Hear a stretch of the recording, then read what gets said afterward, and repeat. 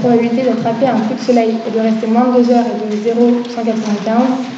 De plus, la probabilité d'avoir un coup de soleil, sachant qu'on est resté plus de 2 heures, est de 0,82. Et on précise que les événements sont indépendants, mais ça on s'en fiche, ça ne va pas être précisé. Donc vous oubliez la phrase. Donc euh, on a l'événement D, euh, durée supérieure à 12 heures, et c'est l'événement coup de soleil. Donc euh, la notation là, on la donne, quand vous ne la verrez pas dans les, dans les en fait. C'est à vous de repérer les événements dans l'énoncé, et ce que je vous conseille c'est de les noter pour pouvoir vous repérer. Si vous vous souvenez en terminale, on fait des arbres de probabilité, et on commence toujours par noter les événements. Donc c'est un conseil si vous voulez en sortir. Donc, première question, quelle est la probabilité d'une personne qui reste moins de deux heures à la plage Deuxième question, quelle est la probabilité d'avoir un coup de soleil, sachant que la personne est restée moins de deux heures Et troisième, quelle est la probabilité d'avoir un coup de soleil? Donc, on va faire la première question. Donc, est la probabilité qu'une personne reste moins de deux heures à la plage Donc, euh, d'abord, on commence par euh, analyser l'énoncé. Donc, pareil, on regarde les événements comme on a noté tout à l'heure. Donc, l'événement D durée supérieure à deux heures et c'est le coup de soleil. Après, il va falloir analyser, parce que vous avez vu, il y a plein de valeurs de données dans l'énoncé. Il faut les retranscrire en équation. Donc ça, je vous conseille de faire ça, comme ça vous voyez ce que vous avez et ça vous sert après dans tous les calculs. Donc voilà. Donc euh, on commence d'après l'énoncé P2D, donc probabilité de rester euh, plus de 2 heures, c'est 0,7, dans ce 70%. Après la probabilité d'avoir de, un coup de soleil, donc P2C, et donc le et c'est intersection, et si on met ou, ça va être union. Donc la probabilité, comme c'est écrit dans l'énoncé, d'attraper un coup de soleil et de rester moins de 2 heures. Donc attraper un coup de soleil et rester moins de 2 heures, donc l'événement contraire des barres, c'est l'événement contraire à D, donc moins de 2 heures. Donc 0,195.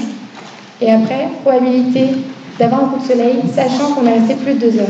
Donc la notation là, je ne sais pas si vous la voyez en terminale, sinon vous vous souvenez sûrement, on mettait euh, probabilité d'avoir un coup de soleil, donc euh, P de C, et en indice, vous mettez D. C'était probabilité d'avoir un coup de soleil, sachant qu'on reste plus de deux heures. vous avez sûrement vu une autre notation. Je sais pas, est-ce que je peux la Ou sinon, on vous la mettra euh, à la fin, si vous voulez, je vous écrirai la deuxième notation, ou si j'oublie, vous me faites penser. Mais euh, vous pouvez garder la notation que vous voulez si vous aviez l'autre en terminale, vous pouvez la garder, ça marche très bien. Juste connaître celle-là, mais moi je, je, galérais tout le temps, donc je prenais l'autre. Bref, et donc, euh, quelle est la probabilité de, rester moins de deux heures à la plage? Est-ce que quelqu'un veut donner la réponse? Je sais pas, on peut la passer. Voilà. Est-ce que tu veux crier ou alors euh, les tuteurs, vous avez un micro? Non? Bah, Si tu peux parler fort, on va Ouais, c'est ça. Donc en fait, euh, l'événement contraire à D, ça va être D bar, rester moins de 2 heures, et donc 1 moins 0,7, parce qu'on reste ou plus de 2 heures ou moins de 2 heures, donc on sait que les deux événements, ça va être 1, parce qu'il n'y a pas d'autre choix, c'est plus de 2 heures moins 2 heures. Et donc rester moins de 2 heures, ça va être 0,3. 1 moins 0,7, 0,3. Donc voilà, P de barre, l'événement contraire. 1 moins PT, 0,3. Donc jusque-là, tout va bien. Donc après, ce qu'on peut faire, ce que je vous conseille de faire, c'est de faire un arbre de probabilité. vous travaillez comme vous voulez, ou les formules, ou les arbres. Si vous êtes visuel, un arbre, ça va plus vous aider. Donc là, j'ai fait un arbre. Donc la valeur là, euh, on s'en fiche. ça, c'est pour les questions après. Elle est là. Donc on a probabilité de rester plus de 2 heures 0,7. L'événement contraire des barres, qui vient de calculer 0,3. Après, on a ici la probabilité de rester plus de 2 heures et d'avoir un coup de soleil, donné dans l'énoncé. Non, la probabilité d'avoir un coup de soleil, sachant qu'on est, euh, est resté plus de 2 heures, 0,82. Si on veut avoir la probabilité euh, de rester plus de 2 heures et d'avoir un coup de soleil, il faut faire 0,7 fois 0,82. Enfin, on les rappelle éternels, je ne sais pas si vous en souvenez un petit peu. sinon, vous venez nous voir à la fin. Donc voilà, donc là, probabilité d'avoir un coup de soleil, sachant qu'on a resté plus de 2 heures, 0,82. Donc là, vous avez votre art, et l'événement contraire, n'ai pas demandé là pour l'exercice. Donc 1 moins 0,82, 0,18, comme ça qu'on trouve les valeurs. Est-ce que c'est clair sur l'arbre Alors, deuxième question. Quelle est la probabilité d'avoir un coup de soleil, sachant que la personne est restée moins de 2 heures au soleil? Donc là, faire attention à surtout bien placer euh, votre notation pour ne pas vous tromper. Et donc, on va utiliser le théorème de Bayes, que vous avez sûrement vu hier, car le conditionnement il est inversé. En fait, on part de la droite du tableau pour monter vers la gauche. Je ne sais pas si c'est clair, mais euh, en fait, c'est là, on va chercher la probabilité là, je vous la montre, mais euh, tant pis. C'est, en fait, on part, notre élément principal, c'est la durée et pas le coup de soleil, mais là, comme. Euh, je sais pas comment vous expliquer. En fait, euh, c'est pas. Ouais, en fait, euh, c'est dans l'ordre, c'est dans l'ordre de, de, l'arbre, mais on cherche les probabilités droites et il faut reprendre le début. Donc, c'est. Le théorème de Bayes, si vous la suite, de toute façon, moi je ne sais déjà plus. Enfin, c'est pas très important de savoir que le conditionnement est inversé, on s'en fiche complètement. Alors donc, euh, bah, je vous montre le calcul parce que je l'ai déjà montré. Donc, on, pense bien à la probabilité d'avoir un coup de soleil, sachant que la personne est restée moins de deux heures, on fait le débat. Et hier, vous n'avez pas vu cette formule-là, vous avez vu en fait le développer. Donc vous gérez, ou vous apprenez à le développer, ou celle-ci, ça marche. Après, avec celle-là, connaissez celle-là, vous pouvez manipuler la formule pour retrouver euh, les deux autres ici quand elles sont inconnues. Et donc là, on connaît tout. P de D, sachant P de D bar et C, ça on l'a vu tout à l'heure, donc c'est des données dans l'énoncé. Et P de D bar, vous l'avez calculé, donc 0,195 euh, sur 0,3 égale 0,65. Jusque-là, ça va. Donc, à bien connaître, puisque le théorème de Bayes, vous l'avez quasiment à chaque fois. Donc, on va l'avoir. Après, quelle la probabilité d'avoir un coup de soleil Donc, ça, si vous vous rappelez bien en terminale, on disait que c'était la formule des probabilités totales. En fait, ça va être à la, fois la ligne là et celle-ci. Donc, il faut passer par les deux chemins, en restant plus de 2 heures et en restant moins de 2 heures. Donc, c'est la formule. Euh, Est-ce que quelqu'un veut répondre si quelqu'un a calculé bah, Au milieu de l'amphi, est-ce que les tuteurs tiens un micro Ouais, là-bas ou là. Est-ce que vous pouvez relever la main ceux qui veulent participer ouais.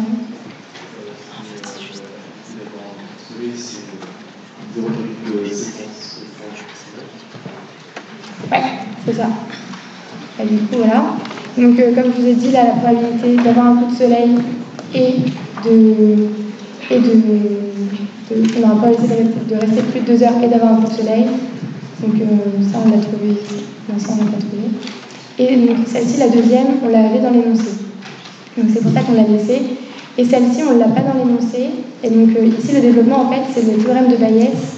On a juste passé, par exemple, ici, si j'avais voulu connaître celle-ci, il suffit juste de multiplier et de C sachant de barre par P de D barre. C'est comme ça qu'on a développé. Le théorème de Bayes, c'est longtemps. Donc là, pour avoir P de D intersection C, on développe, voilà. Donc euh, après, on calcule. Donc ça revient en fait où vous pouvez utiliser le théorème de Bayes ou l'arbre. Donc on fait 0,7 fois 0,82 plus 0,3 euh, bah, fois 0,65, ça fait 0,195. Euh, Donc il y a les deux méthodes, l'arbre ou les formules. Il faut connaître les deux, c'est quand même. Donc voilà, Donc, pour le premier exo, s'il y a des questions, vous pouvez attraper les tuteurs quand ils passent, n'hésitez pas. Donc le deuxième exercice, dans le port cherbourgeois, pardon, la probabilité de croiser un pêcheur hors la loi est de 40%. Sur un échantillon de 15 pêcheurs pris dans la population, quelle est la probabilité que 5 soient hors la loi? Arrondir au millième près. Donc déjà, il faut voir que la probabilité, forcément, votre petit p, ça va être 0,4, parce qu'on a 40% pour la probabilité. Et en fait, on a un échantillon de 15 pêcheurs. Donc sur les 15, vous en piochez un, où il est hors la loi, où il n'est pas. En fait, il n'y a que deux solutions possibles. Donc, euh, est-ce que quelqu'un veut dire la, loi qu'on va utiliser ici Sur Les tuteurs On en a au milieu de l'amphi, même à côté de vous. Tiens, Ouais. Ouais, vas-y.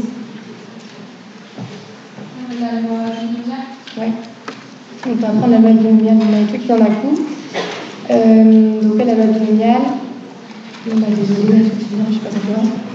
Donc euh, d'abord on transcrit l'énoncé, donc P de P0,4, notre échantillon n égale 15, et on veut k égale 5. Donc pour se repérer, il faut bien euh, connaître à chaque fois votre inconnu, à quoi elle correspond dans l'énoncé. Donc là on veut 5 P genre la loi k égale 5. Donc la formule de la loi binomiale, donc P de x égale 4, donc ça va la connaître k parmi n fois p exposant k fois q exposant n moins k.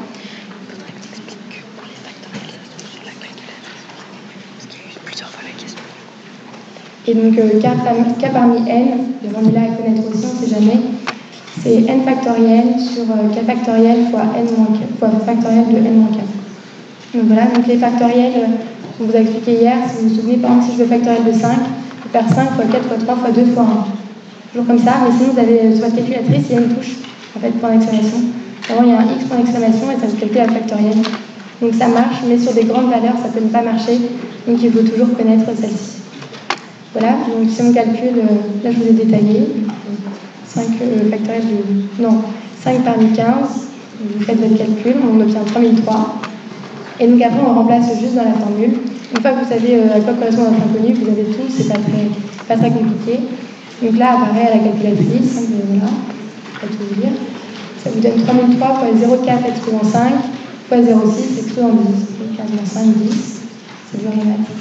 Et donc on obtient 0,186. Donc est-ce que là ça va ou pas Voilà, application de formule. Donc après on voit donc la probabilité dans notre échantillon que 5, que 5 pêcheurs soient hors la loi, c'est 0,186. Voilà. C'est bon? Et enfin le troisième exercice. Sur les plages des tropiques, lors d'une sieste de 30 minutes sous les cocotiers, la probabilité qu'une noix de coco tombe sur un vacancier est un événement X peu probable et suivant une loi de poisson de paramètre lambda égale 0,1. Quelle est la probabilité que deux noix tombent sur une même personne? Donc là, on est gentil, parce que suivant une loi de poisson, vous ne l'aurez pas dans les énoncés.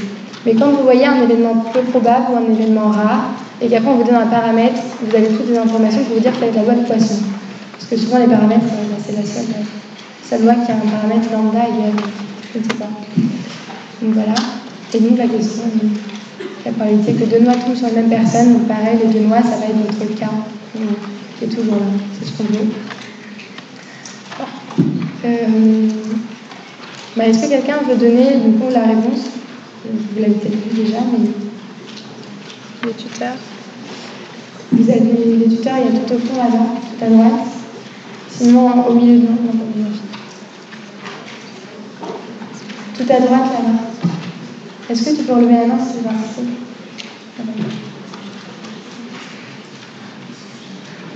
euh, Du coup, la réponse c'est 4,5, 10 exposant moins 3. Ouais, c'est ça. Donc, euh, la loi de Poisson, comme il est dit, lorsque l'événement est peu probable, et c'est sur une période de temps donnée, donc c'est sur le temps de la. Donc, la formule euh, à connaître, parce que franchement, beaucoup se disent que c'est pas très grave, pas important, ça tombe peu. C'est tombé à notre concours, donc ceux qui la savaient pas, c'est dommage, on perd des points alors que c'est très simple. Enfin, juste pour avoir la formule, mais après ça se fait bien.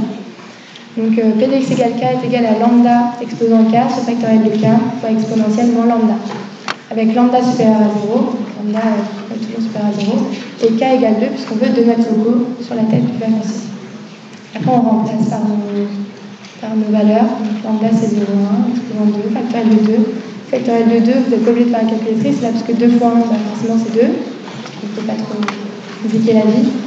Exponentielle moins 0,1, et on trouve 4,124 fois 10 puissance moins 3. Donc la probabilité que deux noix tombent sur une même personne est de 4,524 fois 10 puissance moins 3. Et voilà, j'espère que j'ai été clair et que vous avez compris.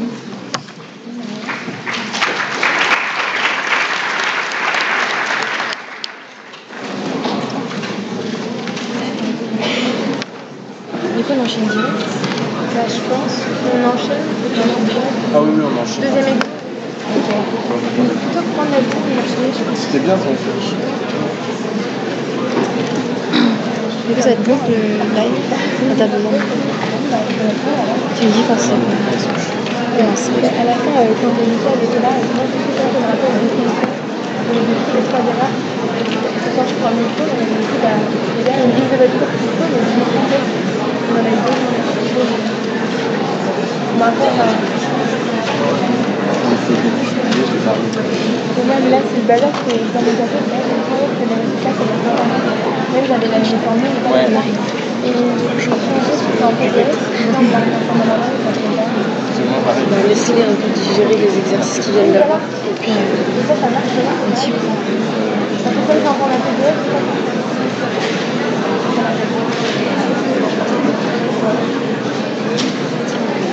cette pour t'aider parce qu'on a énormément de questions. Et comment euh, Elle est. Bah, juste temps, j'ai des. Sur lequel je m'assois quand je peux mal. Ça va. Enfin, on a... Moi, pour l'instant, il y a une personne qui m'a demandé. C'est euh, je suis avec vous. Non, Bah non, mais c'est le truc, c'est que genre, dès que je pars, je genre, il y a trois personnes qui vous appellent, tu vois. Ouais, moi, il y en a. Non, bah, la, mais, euh, Le diapo, mais le, le diapo a des calculs faciles. Si, il y a la correction. c'est dans l'organisation de la ou dans votre. euh, Non, non, ouais, On l'a quand même fait. Mais même sur l'autre, même la correction.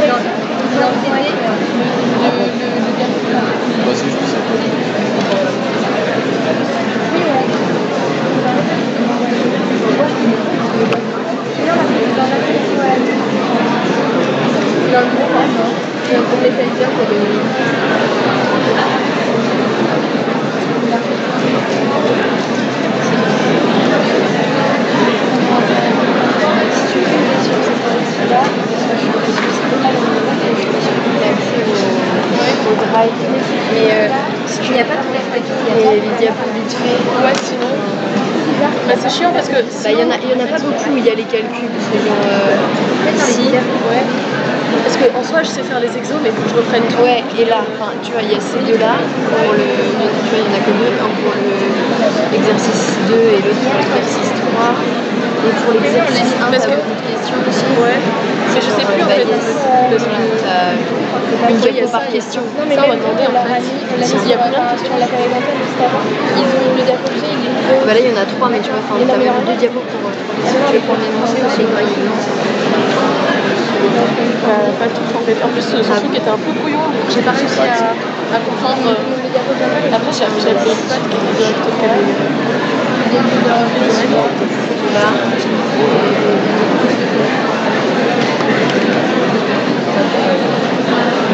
Juste une précision. Le diapo que je viens de faire, normalement, vous l'avez sur le drive. Je sais pas si vous l'avez trouvé, mais on l'a mis. c'est l'autre exercice. Et, Bon, ouais, c'est pas grave. C'est déjà ça. Mais ça va aller comme ça. Après, là, c'est court, ouais. En plus, il y a tellement de messages sur, les, sur tous les groupes que j'arrive pas à me trouver un peu. en fait. Donc, je pas.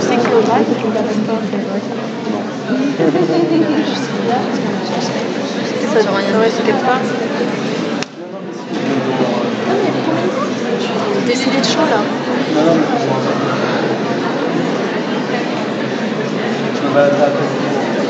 Bon, je vois pas. Toilettes. Est-ce que si tu commences en attendant, tu veux passer les diapos en même temps que ton, ton Ok. ordi C'est pour le live.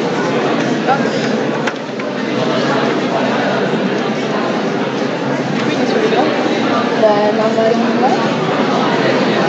Sur quel point Tu parles de quoi que le... La correction pris en photo, mais. euh, Attends. Diapo TD. Ah oui, directement là. Et c'est passé, attends.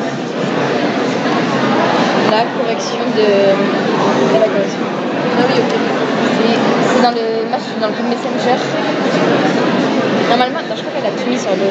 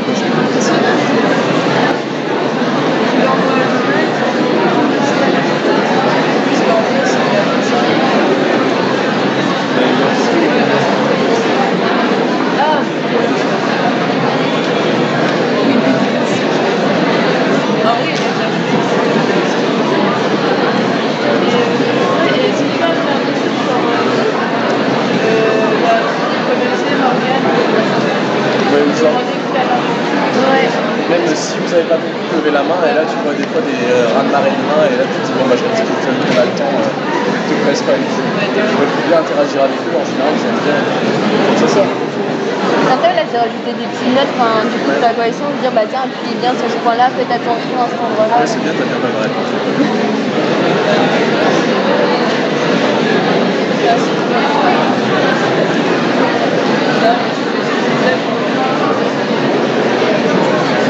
Bah, attends, euh, déjà, j'ai mis euh,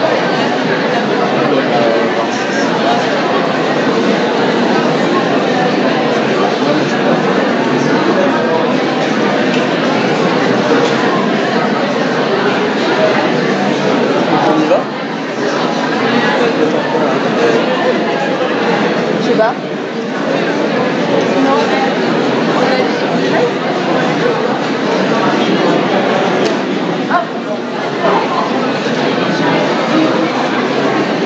On a pas tout à fait.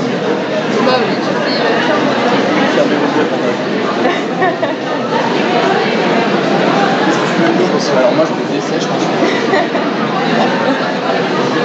bah, euh, demande si ils sont, ils ont encore des questions ou ils sont Ok. C'est bon, t'as- Ah oui. Ils sont encore Ah ouais.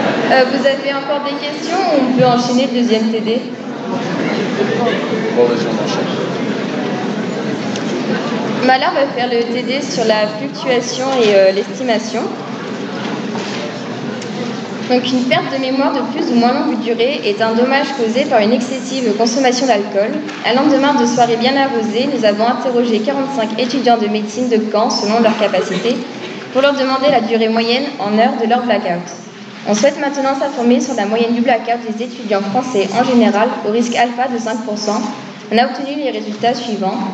Donc somme des x égale 198 et somme des x au carré égale 912. Donc première question, quel type d'intervalle faut-il calculer? Est-ce qu'il y en a qui savent euh, quel type d'intervalle c'est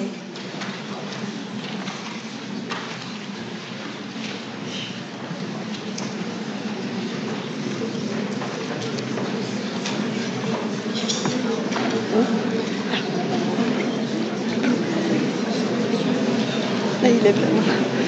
Entre leur. Euh, enfin, dis-leur avec le micro d'aller voir. Comme ça, je le note.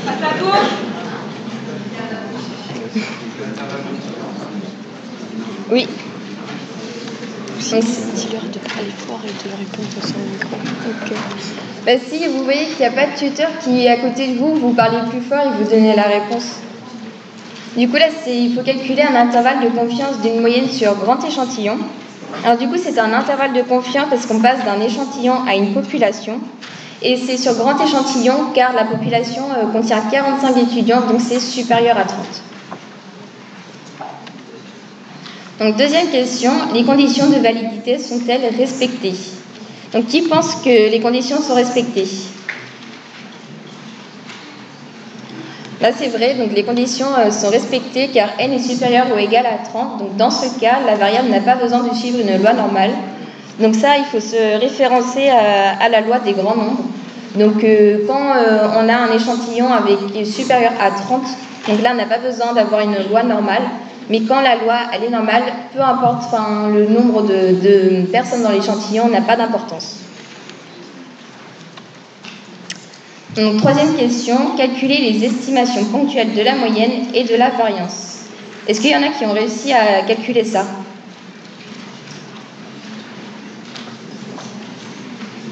Euh, du coup, pour la moyenne, Oui, c'est ça. Pour la variance, Non, c'est pas ça.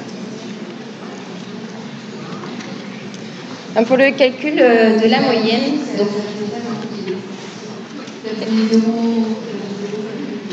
ah, excuse-moi. D'accord. Donc euh, pour le calcul de la moyenne, donc on utilise la formule bah, que vous avez vue.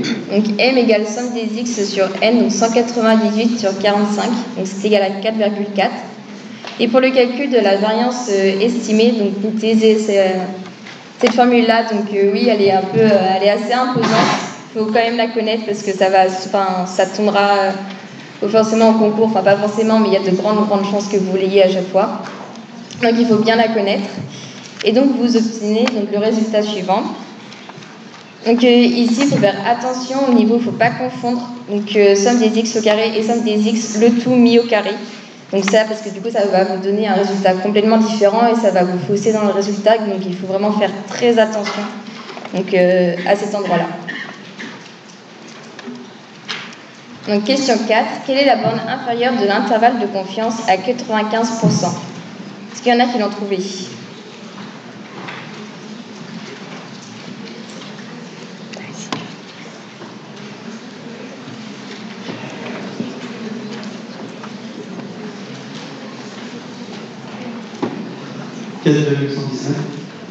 C'est ça.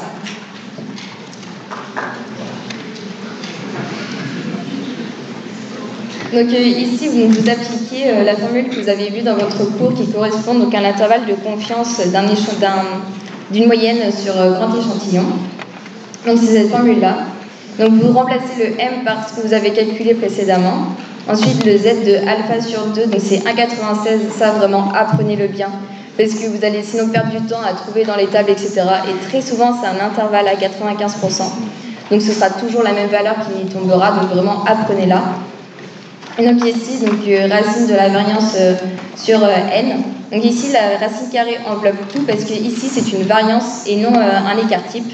Donc ça aussi, il faut faire attention. Et donc, on obtient 4,12. Ensuite, question 5. Quelle est la borne supérieure de l'intervalle de confiance à 95% Est-ce qu'il y en a qui l'ont trouvé?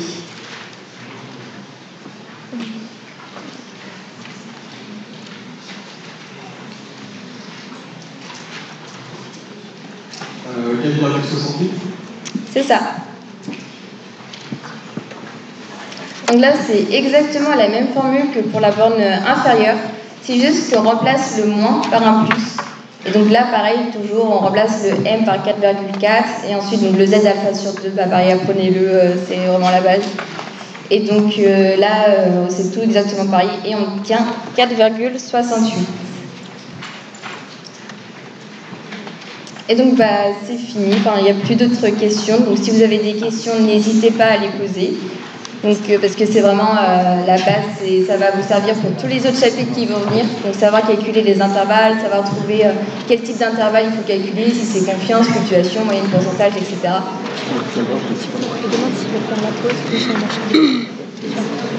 Donc là, il reste juste un cours après. Est-ce que vous voulez faire une pause ou on enchaîne directement avec le cours?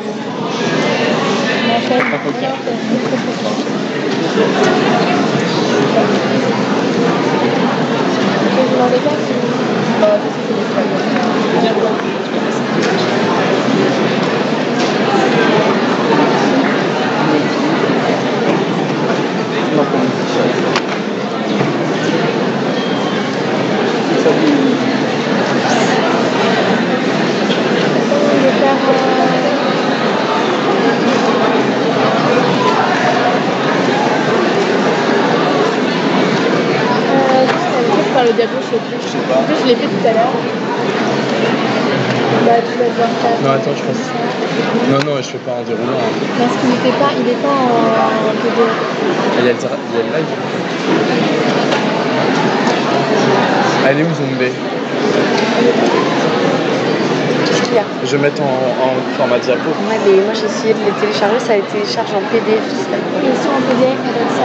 Ah oui. Tu vois? Fait à l'instant pour Marine, ou alors ça le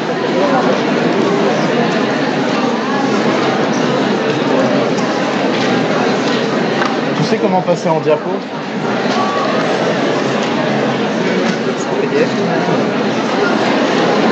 Ouais, en plus j'avais des animations, ça allait plus loin. Enfin, je sais pas, c'est Zoom Mécaf. C'est ça. Oh, il a acheté mon école. Elle a fait très mécontent. Euh, Je vais être obligé de le défiler. Oh non. Ça, ça m'amuse pas du tout. Parce que moi, je voulais faire tuc tuc. T'as mis des animations sont. Ouais, mais ça va, il y en avait deux. Mais c'était, tu sais, je pose une question et il y a un cap qui apparaît. Oui. Ouais, là je. Non, Bon, bah, c'est pas grave. pas grave. Ils ont des questions. Non, vas-y. Ils ont plus dit brancher. euh, Ok. Merde, c'est pas. C'est comme ça Ok, du coup, on va, on va y aller, on va faire le cours, ça va être sympa. Euh, alors, du coup, moi, je vais vous présenter un cours sur le principe des tests statistiques et des erreurs. Donc, pourquoi c'est important? Parce que, en fait, bon, déjà, c'est euh, la moitié des questions au concours, ça porte sur les tests statistiques. Du coup, si vous comprenez, bah, c'est super. En plus, c'est un grand exo chaque année au concours, la moitié des points, hop. Donc, si vous comprenez, c'est top. Bon, après, vous aurez le temps de comprendre. hein. Voilà, alors du coup on va commencer. Alors un test statistique, le but général c'est vous avez des valeurs, vous les comparez entre elles. C'est- bête comme chou.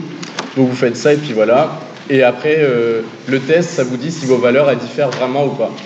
Donc euh, c'est important les tests stats parce que bah, c'est la base de la médecine moderne. Donc euh, dès qu'on essaye un nouveau traitement, bah, on fait un test statistique pour voir si le traitement par exemple il peut améliorer l'espérance de vie, etc.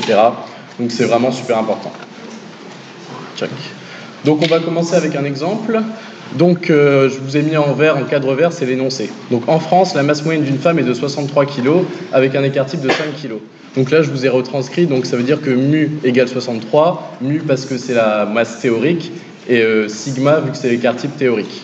Donc on va chercher à savoir si la masse d'une femme vivant en Normandie est plus élevée ou non que la moyenne nationale. Donc pour faire ça, ce qu'on va faire, c'est on va sélectionner un échantillon de femmes en Normandie et euh, on va regarder euh, combien elles pèsent en moyenne. Donc là, on observe sur un échantillon de 50 femmes normandes une masse moyenne de 64 kg avec un écart type de 7 kg. Donc là, on se dit, bon, bah 64 kg, c'est plus élevé que 63. Donc euh, les femmes normandes ont une masse plus élevée que les femmes en général. Mais en fait, toute la subtilité des tests statistiques, ça va être de se dire, est-ce que ce, ce 1 kg de différence, il est significatif ou pas en fonction de la taille de, l'échantillon Est-ce que c'est à peu près clair? Euh, mettez- Levez vos bras comme ça si vous avez rien compris. Ah, il y en a qui n'ont rien compris. Donc en gros, euh, je leur fais vite fait. Le but, c'est de savoir si euh, le fait qu'il y ait un kilo de plus chez les femmes normandes sur notre échantillon de 50 personnes, est-ce que c'est significatif par rapport à la population générale ou est-ce que c'est un kilo de plus parce que bah, on n'a pas choisi les bonnes personnes dans l'échantillon vu qu'on a choisi au hasard? D'accord? Donc, pour euh, savoir si 64 c'est vraiment différent de 63, donc on, va, on a toutes nos, toutes nos données ici, on met ça dans une, on fait un test statistique avec une formule relou et on trouve une conclusion, est-ce que c'est différent, oui ou non?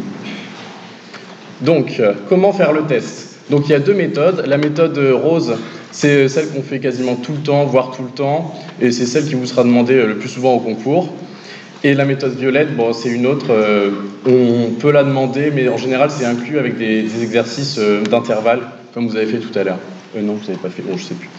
Euh, voilà. Du coup, on va d'abord détailler la méthode la plus utilisée, donc la méthode rose.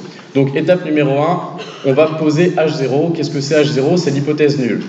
Donc H0, l'hypothèse nulle, c'est une égalité. Donc ça va être l'égalité des moyennes des masses entre la France et la Normandie. Donc H0, c'est mu égale m. Donc la moyenne théorique en France est égale à la moyenne observée dans l'échantillon des femmes normandes. Donc c'est 63 égale 64. Bon, c'est absurde d'écrire ça comme ça, mais c'est une hypothèse. Donc voilà. Euh, là, on sait bien que bon, c'est pas 65 ici, c'est 64, mais on émet l'hypothèse que les deux moyennes diffèrent seulement à cause des fluctuations d'échantillonnage et non à cause d'une réelle différence entre les deux populations. D'accord? Et à côté de l'hypothèse H0, on a un peu euh, l'opposé, c'est l'hypothèse H1, qui est l'hypothèse alternative. Et donc H1, ça va être une inégalité. Et l'inégalité stipule que du coup, bah, en fait, les deux moyennes ne sont pas égales. Donc 63 est 64 pardon, est significativement différent de 63, donc que les femmes en Normandie ont un poids significativement plus élevé que les femmes en général et que ce n'est pas dû à des fluctuations d'échantillonnage. Ça va pour l'instant? Si vous n'avez pas compris, euh, pareil, euh, je sais pas, faites un signe de Joule. C'est bon, pas de, Joule, très bien. Je ai pas vu. C'est bon signe. Donc ensuite, pour faire le test, donc là on va calculer l'indice. Et très important, il faut vérifier les conditions de validité. Donc là c'est la deuxième étape, calculer l'indice. CV c'est pour conditions de validité. Donc, pour chaque cas, en fait, euh, vous allez avoir des formules différentes en fonction de toutes les situations que vous pouvez avoir. Donc là, on a une moyenne de la population générale et une moyenne sur un échantillon. Donc c'est un test de moyenne, euh, de moyenne théorique comparé à une moyenne observée. Donc là, voilà, test de comparaison de moyenne observée à théorique. Ici, je vous ai mis le test, mais vous en faites pas, ça j'ai récapitulé ça un peu plus bas. Donc là, l'échantillon est composé de 50 personnes. Donc les conditions de validité sont vérifiées. Ici, les conditions de validité, c'est ça, c'est n supérieur ou égal à 30. OK? Donc une fois qu'on a vérifié nos conditions de validité, on calcule l'indice Z avec la formule ici. Donc Z égale M moins mu sur S, l'écart type sur la population, sur racine de N, le nombre de personnes. Donc là, ça fait 64 moins 63 sur 7 sur racine de 50, et ça vaut 1,01. D'accord? Ensuite, il va falloir trouver, en fait, oh, pardon. Donc l'indice que vous avez calculé ici, il va être à comparer à un seuil. D'accord? Pour chaque type de test, vous allez avoir un seuil différent et la règle, ça va être si l'indice est supérieur au seuil, on rejette H0. Si l'indice est inférieur au seuil, on ne rejette pas H0. C'est tout le temps comme ça. Donc là, Z vaut 1,01 et on va chercher à le comparer à un seuil. Donc, le seuil. Donc pour un test de comparaison de moyenne observée à théorique sur grand échantillon, donc on est sur grand échantillon parce que n est supérieur ou égal à 30, le seuil c'est toujours 1,96. Donc c'est à apprendre. Donc ensuite, on va comparer l'indice au seuil. Donc on a trouvé un indice qui vaut 1,01, le seuil est de 1,96, donc 1,01 c'est inférieur à 1,96. Donc là, on est ici, on ne rejette pas H0, la différence n'est pas significative. Donc sur notre exemple, ça veut dire que euh, le poids des femmes en Normandie, enfin la masse, pardon, elle n'est pas supérieure à la masse euh, en France en général. La différence de 1, c'est juste dû à des fluctuations d'échantillonnage. ok? Donc voilà, l'indice inférieur au seuil, on ne rejette pas H0. Cela signifie que la différence de poids entre la population et l'échantillon n'est pas significative. Donc, il euh, faut, garder en tête qu'on est toujours dans des, probabilités. Du coup, on a toujours un risque d'erreur, et le risque d'erreur, il est quasiment toujours mis à 5%. ok? Donc, il y, a, il y a 5% de chance qu'on se soit planté, mais il y a 95% de chance que notre test soit bon. D'accord? Et donc là, il faut vraiment faire gaffe. Euh, ils vous mettront toujours les profs dans les QCM une réponse où ils mettent euh, on accepte H0. Il faut, bien faire la différence. On ne rejette pas H0, mais c'est pas pour autant qu'on l'accepte. Pourquoi? Parce qu'on peut pas. Enfin, genre, si on accepte H0, on admet déjà que 63 égale 64, c'est pas ouf. Et en plus, euh, en fait, il faut se dire que si on avait eu peut-être un, échantillon avec plus de personnes dans l'échantillon, on aurait trouvé une différence significative. Genre là, on a 50 personnes, si peut-être si on avait eu 150 personnes dans l'échantillon, ça aurait été plus précis et on aurait rejeté H0. D'accord? Donc on ne peut pas se permettre d'accepter H0. Voilà. Est-ce que vous avez à peu près compris euh, là cet exemple? Bon, après, les formules et tout, normal que vous ne compreniez rien, mais le principe général. Genre, levez les bras si vous avez compris. Yes, c'est beau. Super. Hop.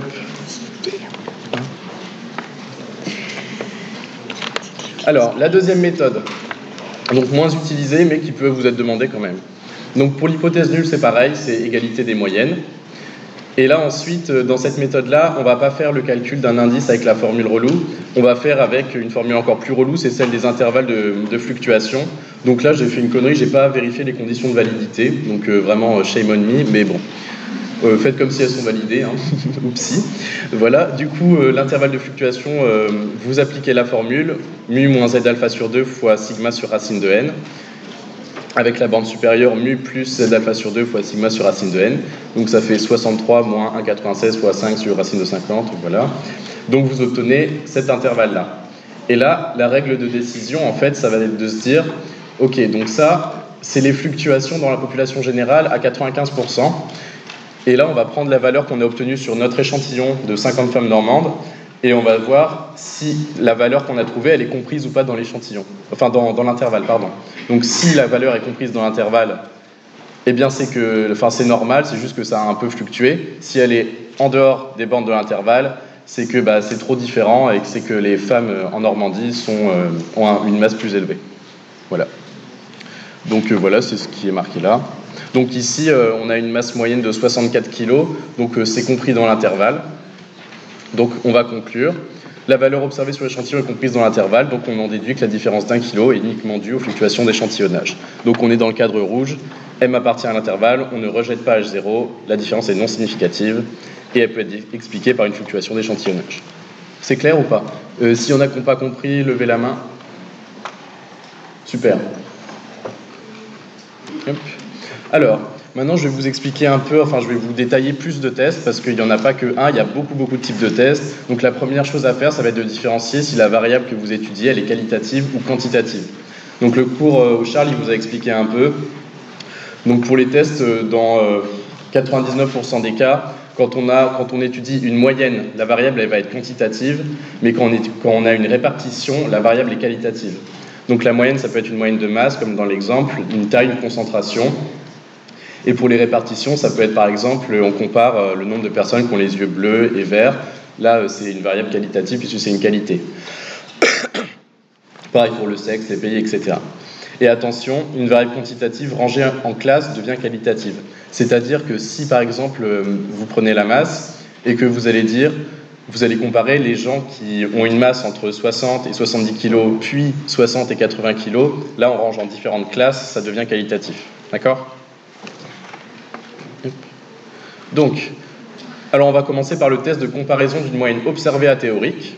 Donc quand est-ce qu'il faut faire ce test? On fait un test de comparaison de moyenne observée à théorique quand on a une variable quantitative, donc c'était euh, comme le test avant, et quand on a des données sur la population générale et des données sur un échantillon issu de cette même population. Par exemple, dans l'exemple tout à l'heure, on avait les femmes en France en général, et on avait un échantillon issu des femmes en France en général, les femmes normandes. Donc on a euh, on a euh, du coup la population générale et un échantillon compris dans cette population. Plus on nous dit que c'est, on nous donne la moyenne des masses, qui est une variable quantitative. Donc c'est un test de moyenne observée à théorique. D'accord? Faites euh, un signe si vous n'avez pas compris. Super. voilà. Du coup, on va avoir deux cas. Si votre échantillon est plus ou enfin est supérieur ou égal à 30, on a un grand échantillon. Si c'est inférieur à 30, on a un petit échantillon. C'est bien important que ce soit supérieur ou égal, et là strictement inférieur. Au concours, euh, notre année, c'était, euh, ils ont mis pile 30. Du coup, si vous n'aviez pas euh, le supérieur ou égal, bah, vous étiez baisé, donc c'était un peu con. voilà, du coup, sur le grand échantillon, je ne vais pas refaire d'exemple parce que c'est ce qu'on a fait au début du cours. Donc là, vous avez la validité n supérieur ou égal à 30, l'écart. Donc, ah oui, ça j'ai pas précisé, z, ça veut dire que ça suit une loi normale. Et quand on a T, comme sur les petits échantillons, c'est que ça suit une loi de student. D'accord? Donc voilà. Donc là, c'est ce qu'on a détaillé. Donc, euh, et puis le truc, différence significative à P égale 2P, je vais le détailler tout à l'heure, c'est un peu plus compliqué. Et donc, si on a un petit échantillon, donc n inférieur à 30, enfin strictement inférieur à 30, euh, la validité, va changer. C'est-à-dire que la variable x qu'on étudie va devoir suivre une loi normale. Et l'indice, on va plus l'appeler z, mais on va l'appeler t et il va suivre une loi de student. Et la loi de student, elle est à n-1 DDL. Qu'est-ce que ça veut dire ça? Ça veut dire qu'elle est à n-1, donc le nombre de personnes moins 1, donc si on a un échantillon de 18 personnes, ce sera 17, DDL, degré de liberté. Ça servira à trouver le seuil. Je vais faire un exemple sur petit échantillon pour que vous compreniez un peu mieux. Et ici, l'indice est différent, je vais détailler tout ça. Donc, exemple sur petit échantillon. À Rio, on sait que la consommation moyenne de, en lait de coco est de 0,2 litres par jour et par personne. Et une étude mesure la, la, consommation moyenne en lait de coco chez 17 habitants de Rio qui ont une piscine. Et on sait que la consommation en lait de coco suit une loi normale. Et les résultats sont les suivants. Donc là, le but c'est de voir est-ce que si vous avez une piscine euh, à Rio, vous consommez plus de lait de coco ou pas? Et donc euh, voilà, donc euh, la consommation de coco, l'énoncé nous demande si elle est plus élevée chez les Carioca qui possèdent une piscine par rapport à ceux qui n'en possèdent pas. Euh, Carioca, c'est des habitants de Rio. J'ai appris ça en faisant l'exercice aussi, c'était marrant. La petite info fun. du coup, alors, on lit bien l'énoncé, on, on prend les infos importantes sur une feuille. Donc on a 17 habitants de Rio, donc l'étude elle est faite sur 17 personnes, donc c'est inférieur à 30, donc on a un petit échantillon. Alors, première étape, on pose H0, c'est l'égalité des moyennes. Donc H0, on peut la formuler de la manière suivante. La consommation en lait de coco est la même selon que les carioca possèdent ou non une piscine. Ça équivaut à ce que à, euh, mu égale m, donc les moyennes sont égales, enfin ça varie pas. D'accord? Deuxième étape, euh, on calcule l'indice en vérifiant d'abord les conditions de validité. Donc là, les conditions de validité, on a dit c'était pour petit échantillon, x doit suivre une loi normale. Donc x c'est la variable qui nous intéresse, donc là c'est la consommation en lait de coco. on a de la chance, on s'est marqué la consommation en lait de coco suit une loi normale. Donc on est bon, les conditions de validité sont vérifiées. On va alors pouvoir calculer l'indice avec la formule t égale m moins mu sur s sur racine de n. Donc on met les formules qu'il y avait dans l'énoncé et on trouve 4,40. Ok? Donc euh, surtout, genre vous pouvez inverser mu et m, c'est pas grave parce que le résultat sera le même mais il sera négatif. Donc vous trouverez là sur euh, ici, vous voyez dans la règle c'était en valeur absolue. Enfin les valeurs absolues on les met si on a inversé les deux comme ça on n'a pas de problème de signe. D'accord? Mais si vous trouvez un truc négatif, pas de panique, c'est que vous avez inversé mais la valeur sera la même. Voilà. Donc ensuite, comment lire l'indice dans la table euh, pour une loi de student? Donc c'est pas pareil, c'est pas un 96 comme avec la loi normale. Donc là, vous allez avoir les tables statistiques, on vous en a déjà parlé. Donc vous allez dans les fractiles de la loi de student et vous trouvez votre degré de liberté. Donc c'est n-1 DDL comme je disais avant. Donc on a 17 habitants de Rio avec piscine. Donc on est à 16 degrés de liberté. Et le alpha, du coup, c'est encore un risque de 5%, et alpha sur 2, donc 0,025. Donc là, dans la loi de student, vous, vous avez deux colonnes. Vous avez la colonne des degrés de liberté, et là, vous avez la ligne des risques. Du coup, le alpha sur 2, c'est 0,025, et le degré de liberté, c'est 16. Et vous allez trouver l'intersection, donc là, 2,120. Est-ce que ça va pour l'instant? Levez les mains si vous êtes complètement paumé, que vous ne comprenez rien. Ok, super, merci Luna. Euh, du coup, voilà. Donc là, l'indice qu'on a calculé, il vaut 4,40. Donc 4,40, on va le comparer au seuil. Donc l'indice calculé 4,40 est supérieur au seuil de 2,210. Donc la conclusion, c'est qu'on rejette H0. On rejette H0, ça veut dire que la consommation de lait de coco est différente chez les carioca qui possèdent une piscine par rapport aux carioca en général. Est-ce que ça va? Vous avez compris la conclusion? Ceux qui n'ont pas compris la conclusion, euh, faites un, DAB. Pas de DAB détecté, très bien. Super. Donc là, euh, je vous ai rajouté une petite étape qui est des fois demandée au concours. Genre, euh, quand vous avez trois tests à faire au concours, en général, il y en a un où il faut calculer le degré de significativité. J'ai appelé ça degré de signification. Oh non, c'est degré de significativité. C'est un peu compliqué à dire, mais bon. du coup, ça s'appelle petit p. Et ça, on peut le calculer que quand on rejette H0. Et en fait, ce degré de significativité, il va mesurer la conviction avec laquelle vous rejetez H0. C'est-à-dire, est-ce que vous avez rejeté H0 euh, de pas grand-chose, genre euh, ah ça se joue à rien, les carioca ils prennent pas tant de lait de coco que ça en plus euh, en fonction de s'ils ont une piscine ou pas, ou est-ce que vraiment c'est super différent, genre les carioca qui ont une piscine ils mangent trois fois plus de lait de coco. Donc ça c'est ce qui, enfin le degré de signification P, c'est ce que ça permet de mesurer. Donc pour trouver P, donc vous reprenez la table de tout à l'heure, donc les fractiles, vous vous placez à votre degré de liberté, donc 16, vous suivez la ligne et vous allez encadrer l'indice dans la ligne. D'accord?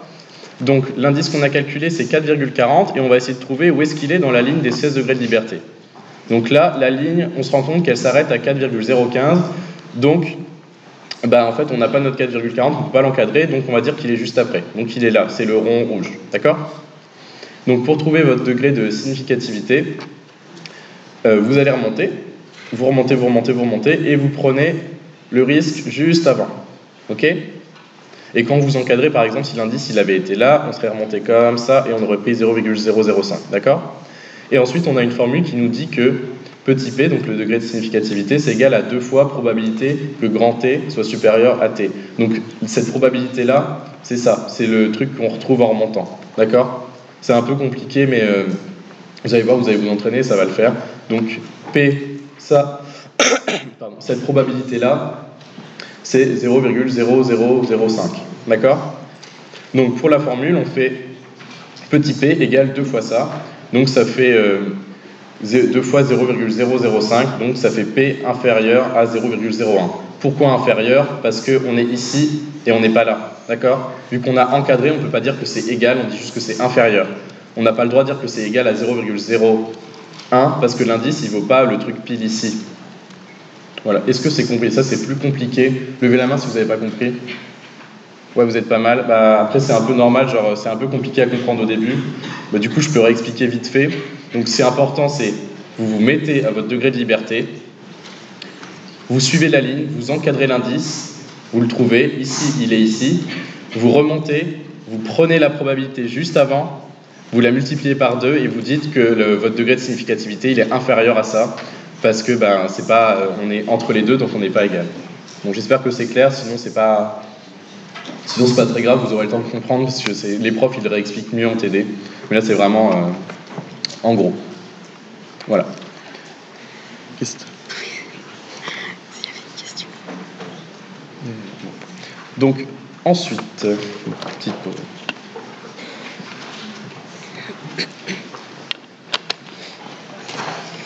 Donc voilà, là on a vu les deux cas possibles de moyenne observée à théorique, donc petit échantillon ici et grand échantillon, euh, l'exemple du début en introduction. Donc maintenant on va voir un test de comparaison d'une répartition observée à une répartition théorique. Donc là, la différence, c'est qu'on n'a plus une variable quantitative, mais on a une variable qualitative. Donc si par exemple on veut étudier euh, la couleur des yeux en fonction euh, du pays où les gens habitent, ben, il va falloir faire un test de répartition, enfin de comparaison de répartition. Et donc observer à théorique, c'est quand pareil, on a des données sur la population générale et des données sur un échantillon issu de cette même population. D'accord? Donc là, euh, ça c'est pas clair euh, du tout, c'est normal. Donc on va d'abord faire l'exemple et après on reviendra là-dessus. Donc, exemple sur grand échantillon. Des scientifiques ont noté le nombre de couleurs différentes dans un groupe de 25 colibris qui vivent en Guyane. On sait qu'en Amérique du Sud, les proportions de couleurs sont les suivantes. Rouge 25%, vert 25, 20%, euh, pardon, vert 25% et bleu 55%. Et les scientifiques, les résultats en Guyane, c'est ça. Donc il y a 7 colibris rouges, 7 verts, 11 bleus et un total de 25. Et là, l'énoncé, il nous demande la couleur des colibris varie-t-elle significativement entre la Guyane et l'Amérique du Sud tout entière? Donc là, première étape, on va identifier quel test il faut faire. Donc la variable, elle est qualitative puisque c'est la couleur, donc euh, rouge, vert ou bleu. Et euh, on a euh, une population, on étudie une population, donc la Guyane, qui fait partie de l'Amérique du Sud en entier. Du coup, ben, on va être sur un test de répartition observée, donc la Guyane vs théorique, l'Amérique du Sud. Voilà. Donc ce test, ça fonctionne différemment des, des moyennes, puisqu'il va falloir d'abord dresser un tableau pour savoir si l'échantillon il est grand ou petit. Donc là, le fait qu'il y ait 25 colibris, on s'en fout totalement ça ne veut pas dire que c'est un petit échantillon. Il faut d'abord faire un tableau pour savoir. Parce que là, c'est un exemple sur grand échantillon, spoiler, du coup, ben, grand échantillon, mais 25 personnes, donc euh, il y a un petit souci. Mais non, tout va bien. Du coup, on commence par poser H0, donc euh, l'hypothèse nulle. Donc là, c'est comme la moyenne, c'était égalité des moyennes. Là, ça va être égalité des répartitions. Les couleurs des, des piafs en Guyane sont les mêmes que dans l'Amérique du Sud en général. Donc ensuite, pour les conditions de validité, il faut faire un tableau. Donc ce tableau, ce sera toujours le même quand on aura des comparaisons de répartition observée vs théorique. Donc vous allez avoir, vous mettez vos différentes euh, euh, variables, enfin les différentes valeurs de votre variable, donc rouge, vert et bleu dans un tableau, vous, vous mettez le total à côté. Ensuite, la première ligne, ça va être la répartition théorique. Donc ça, c'est la répartition qu'on a en Amérique du Sud au total, d'accord? Ensuite, vous mettez les, les, effectifs observés OI. Donc les effectifs observés, c'est ce que vous observez sur votre échantillon, donc là la Guyane. Et après, vous avez les effectifs calculés CI. Donc les effectifs calculés CI, ça correspond euh, au nombre que de, enfin au nombre pour chaque truc que vous auriez dû obtenir si, genre, euh, pardon? Ouais, ça correspond aux effectifs que vous auriez dû obtenir si euh, en Guyane c'est comme en Amérique du Sud. Donc en fait c'est logique puisqu'on multiplie, genre euh, on a un échantillon de 25 colibris, si on veut que ce soit comme en Guyane, enfin comme en Amérique du Sud en Guyane, on fait 20% fois 25 et là par exemple on obtient 5 colibris rouges. Donc si la Guyane c'était comme en Amérique du Sud, on aurait obtenu 5 colibris rouges. D'accord? Ensuite, les colibris verts, c'est pareil, on fait 25% x 25, on aurait obtenu 6,25 colibris. Enfin, c'est un peu illogique de mettre une virgule, mais on n'a pas le choix. Et pour les bleus, pareil, c'est 55% x 25, ça fait 13,75. Voilà. Donc ici, pour savoir si l'échantillon est grand ou non, en fait là, vous voyez dans le truc grand, euh, grand échantillon ici, la validité, c'est tous les CI sont supérieurs ou égaux à 5. Donc les CI, c'est ce qu'on vient de calculer. Et là, on se rend compte bah, qu'ils sont tous supérieurs ou égaux à 5. Celui-là, il vaut 5, 6,25 et 13,75. Donc tous les CI sont supérieurs ou égaux à 5. Donc on peut dire à ce moment-là qu'on est sur un grand échantillon. D'accord? Et donc là, les validités, bon, bah, il n'y avait que ça. Donc euh, on est sur un grand échantillon, il n'y a pas d'autres conditions de validité. Donc là, on peut calculer l'indice. Donc l'indice, la formule, elle est là. C'est le qui 2 observé. Donc là, c'est un test de qui 2, ça s'appelle. D'accord? Donc on calcule un qui 2 observé. C'est la somme des OI moins CI au carré sur CI. Donc qu'est-ce que ça veut dire ça? Donc ça veut dire que pour chaque colonne, vous allez avoir un terme de la somme. D'accord? Donc somme des OI moins CI au carré sur CI. Donc on prend la première colonne, on fait OI, donc 7, moins CI qui vaut 5, le tout au carré sur CI 5. Ensuite on additionne avec la colonne d'après, on fait pareil, 7 moins 6,5, le tout au carré, et sur 6,5. Et après, on additionne avec la dernière colonne 11 moins 13,75 au carré sur 13,75. Et on calcule et ça fait 1,44. Donc jusque-là, est-ce qu'il y a des gens qui n'ont pas compris lever les bras? Super, trop content. Euh, voilà, du coup ça fait 1,44. Ensuite, troisième étape, on détermine le seuil. Donc le seuil euh, de ce type de test, c'est dans la table de Fisher, parce que le qui 2 suit une loi de Fisher. Encore une nouvelle table mais ça fonctionne pareil que la table de student. Ah, une différence, c'est qu'il ne faut pas diviser par 5. Euh, par 2, pardon. Le, 5%, on ne le divise pas par 2, on n'a pas 0,025, on a 0,05.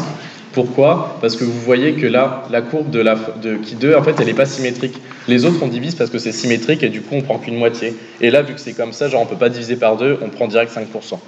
Voilà. Euh, du coup, les degrés de liberté, donc c'est K moins 1 DDL. Donc K, à quoi ça correspond? C'est le nombre de classes. Donc c'est le nombre de, trucs possibles pour votre variable. Donc ici, le nombre de classes, ça va être 3 parce qu'il y a rouge, vert, bleu, c'est les trois classes possibles. Donc le degré de liberté, ça va être K moins 1, donc nombre de classes moins 1, donc 3 moins 1, donc 2 degrés de liberté. Et euh, le, le pourcentage d'erreur, c'est 0,05. D'accord? Donc là, c'est pareil, on se met à 2 degrés de liberté au risque alpha de 0,05, on prend l'intersection et ça fait 5,991. Ok? Est-ce que c'est compris pour la lecture, euh, pour le, seuil? Levez les mains si vous n'avez pas compris. Ok, il y en a quelques-uns, je vais réexpliquer vite fait. Du coup, le seuil, c'est qui, qui 2, K-1 DDL, 0,05. K-1 DDL, ça correspond au nombre de classes moins 1, degré de liberté. Le nombre de classes, ça correspond au nombre de, de, bah, de valeurs possibles prises par votre variable. Donc là, ça va être rouge, vert, bleu. Donc il y a trois classes. C'est rangé en trois catégories, les piafs.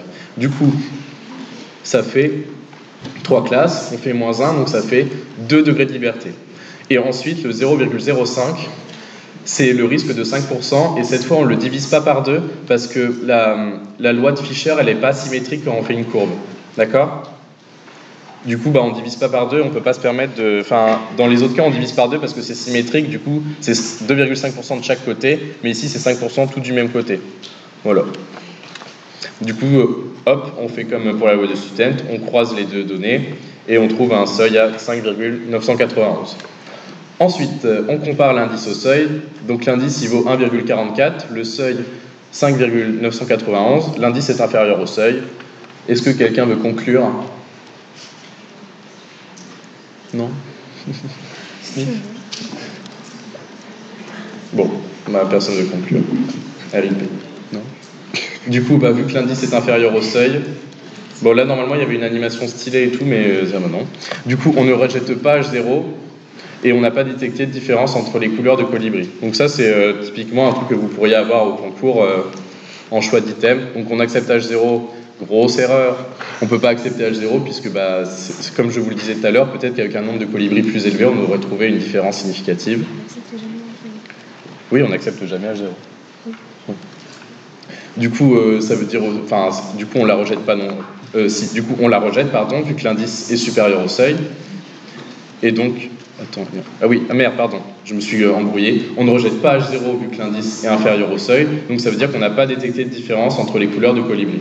Donc ça, ça veut dire que nos effectifs observés, ils diffèrent pas tant que ça de nos effectifs calculés qu'on aurait obtenus en théorie. Donc on peut se permettre de dire bon bah si c'est différent, c'est à cause du fait que bah, a pas pris, on a pris un échantillon qui est légèrement différent, mais pas tant que ça. Donc euh, c'est bon. Est-ce que c'est clair pour la conclusion? Pareil, levez la main si vous n'avez pas compris. Non, je vois pas de main. Très bien. Voilà. Maintenant, on va faire pareil, mais sur un petit échantillon. Donc, pour petit échantillon, la méthode, c'est la même, mais c'est la formule qui change et les conditions de validité aussi. Donc, alors, pour un petit échantillon, on nous dit une étude cherche à savoir si les hommes fument plus à Caen qu'en France. Les résultats sont les suivants. Donc là, j'ai directement dressé le tableau puisqu'il peut vous être dressé directement dans l'énoncé. Donc quand vous l'avez directement, vous n'avez pas à le refaire. D'accord Mais ce tableau, il est indispensable pour euh, les conditions de validité pour savoir si vous avez un grand ou un petit échantillon. Ok Donc là, on nous dit les fumeurs, répartition théorique, il y a 30% d'hommes qui fument et 70% d'hommes qui ne fument pas, pour un total de 100%.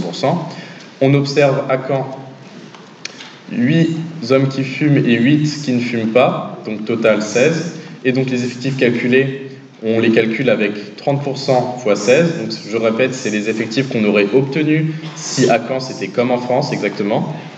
Donc ça fait 4,8 et 11,2. Donc là, on a déjà nos CI qui sont calculés. Donc on reprend nos règles là. La validité, c'est euh, oui, pardon. Pour déterminer si on a un petit ou grand échantillon, parce que c'est pas marqué dans l'énoncé, Là, on regarde les effectifs calculés et on en voit un qui est inférieur à 5. Donc, on n'est pas bon pour les grands échantillons vu qu'il y en a un, il y a un CI qui vaut 4,8. La condition de validité pour avoir un petit échantillon, ça devient alors tous les CI sont supérieurs ou égaux à 3 avec la formule des CI. Donc ici, les CI, ça vaut 4,8 et 11,2, donc ils sont tous supérieurs ou égaux à 3. Donc on est bon, on peut faire un test du qui 2 sur petit échantillon. D'accord? Voilà, donc hypothèse nulle, pareil, égalité des répartitions. Les conditions de validité sont vérifiées car tous les CI sont supérieurs ou égaux à 3. Et puis il y a une autre condition, mais elle n'est pas dans le tableau, c'est qu'il faut qu'il y ait deux classes. Mais ça, les profs vous en parleront euh, plus en détail en cours.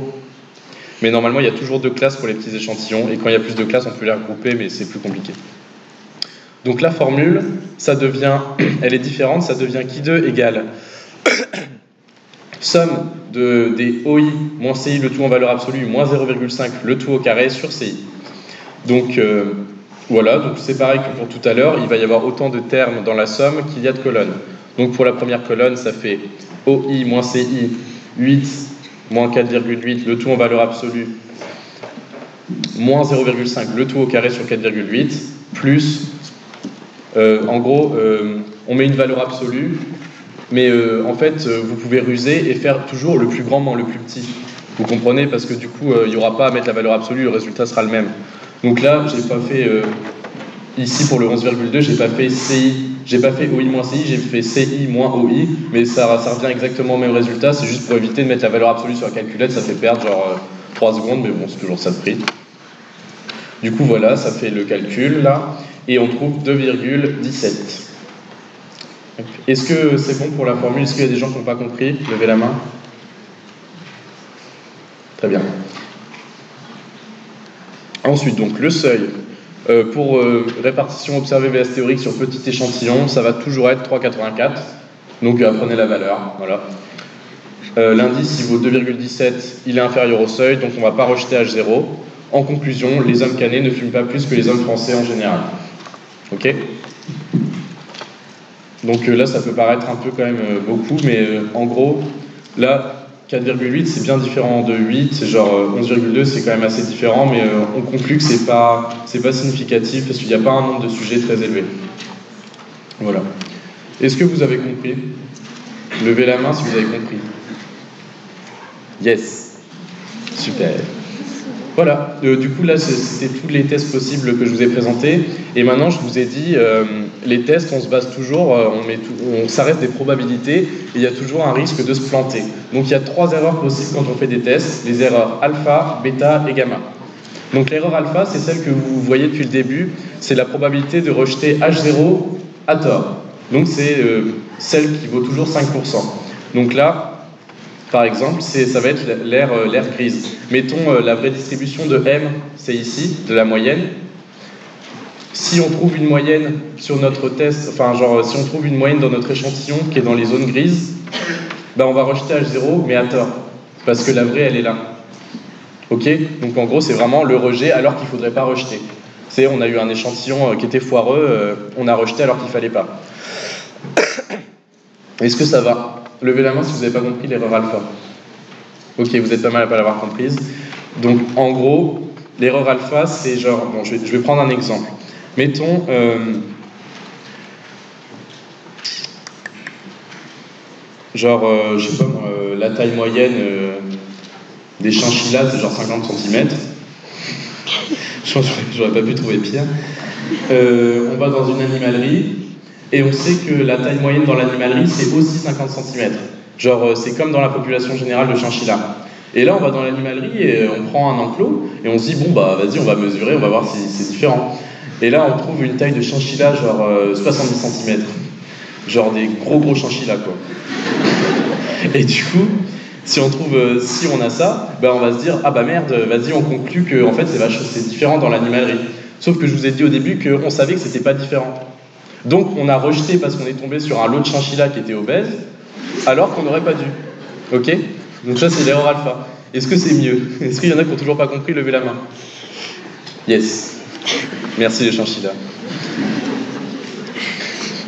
Ensuite, euh, la deuxième erreur, donc l'erreur de deuxième espèce ou erreur bêta, ça va être la probabilité de ne pas rejeter H0 alors qu'elle est fausse. Donc là, pour reprendre l'exemple des chinchillas, euh, on arrive dans l'animalerie. Je vais prendre un autre exemple parce que ça va perturber. Alors. Euh...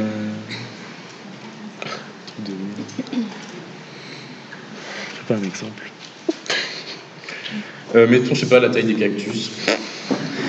Ok, donc, euh, c'est la probabilité de ne pas rejeter H0 alors qu'elle est fausse. Donc, on nous dit, les cactus en France mesurent 50 cm, sauf dans le Nord-Pas-de-Calais, où il mesure 70 cm. Ok? Et là, on arrive dans le Nord-Pas-de-Calais, et on mesure les cactus, et genre, ils font, euh, ils font genre 51 cm, 49 cm, donc on conclut que bah, finalement, dans le Nord-Pas-de-Calais, les cactus, ils sont pas si grands que ça, ils sont comme dans la population générale. D'accord? Sauf qu'on sait que finalement, les cactus dans le Nord-Pas-de-Calais, ils mesurent en moyenne 70 cm. Donc, on n'a pas rejeté H0 alors qu'on aurait dû il y avait une différence significative, on ne l'a pas détectée. Ok? Donc ça, ça correspond à l'erreur bêta. Levez la main si vous n'avez pas compris. Ok, il y en a. Y en a un petit peu. Alors du coup, euh, bah, on va faire avec le graphique. Ouais, non, ça va peut-être pas aider. Bah, au pire, vu que vous n'étiez pas beaucoup, venez me voir à la fin du cours, je vous réexplique. Ok? Vous étiez 2-3, vous venez faire un petit groupe et tout. Je vous explique, ça va être sympa.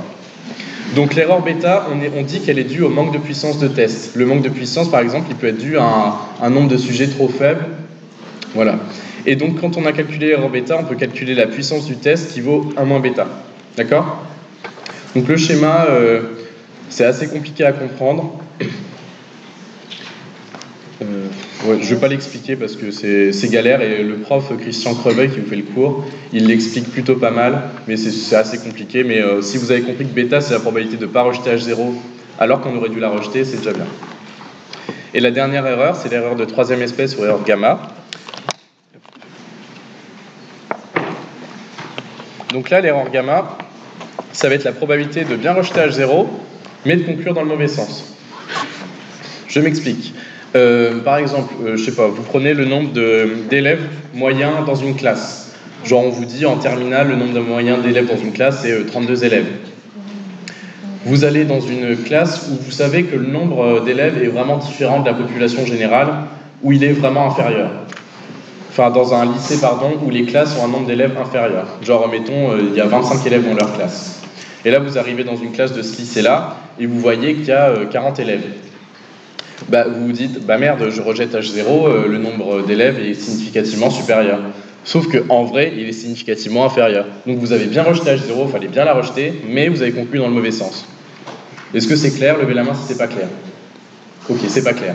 Euh, je vais prendre un autre exemple. Euh...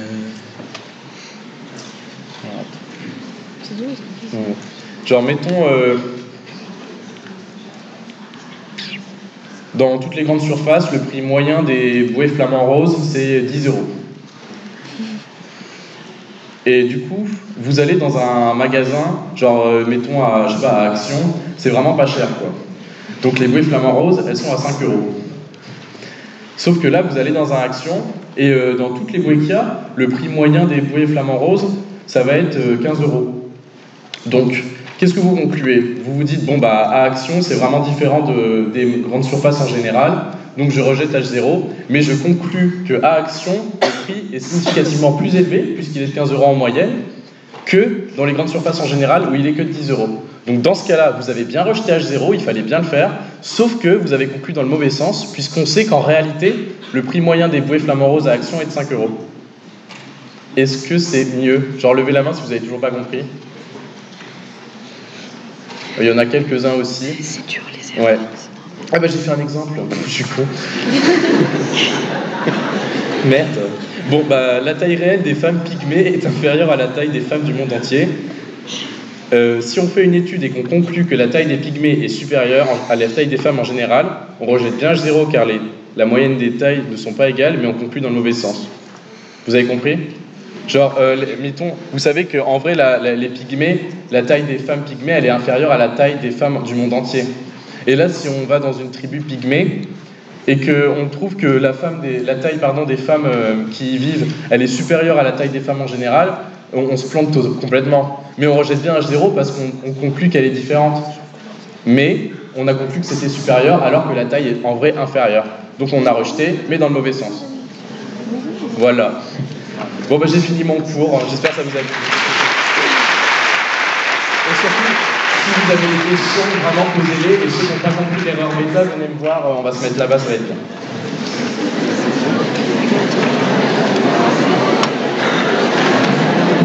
En c'est super compliqué à, comprendre, mais c'est hyper important. Donc euh, il faut vraiment que vous ayez compris ça. Donc si c'est pas euh, là pendant le stage prep, c'est pas grave, vous allez en entendre parler.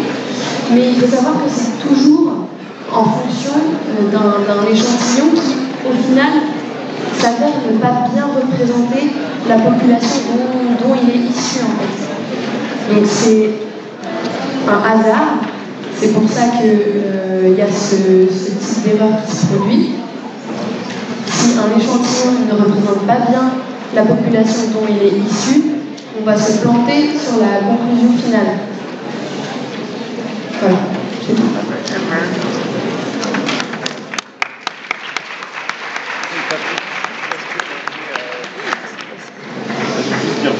Euh, ah oui, je vais arrêter le live.